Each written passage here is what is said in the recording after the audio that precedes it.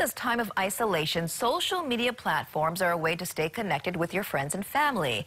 The quizzes on social media seem innocent enough and a great way to learn more about each other, but the information you share is valuable to criminals.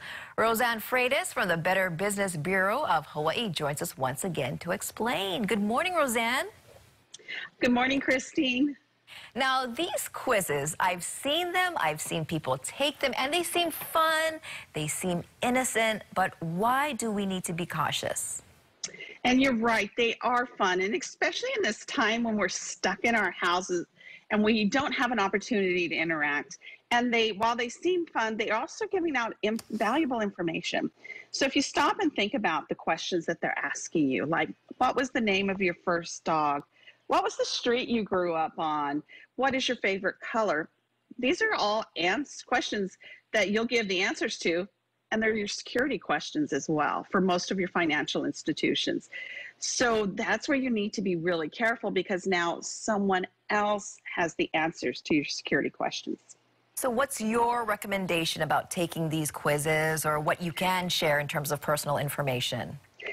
It's, that's a really good question, Christine, because most of these quizzes are harmless. They're not out to get you, but at the same time, you need to be very careful. So if you're answering questions that are, you know, your security questions, you probably need to not answer that one. So, or make sure that your security questions are something very difficult that maybe somebody wouldn't ask. Another thing is most definitely increase your security on your Facebook or Instagram or Twitter or any of those so that um, only your friends see it. But still, then that's not enough. You really just need to be careful on what you answer. Any other steps you can take to keep the data secure on social media? Well, one good thing is don't put out your birth date or year that you were born.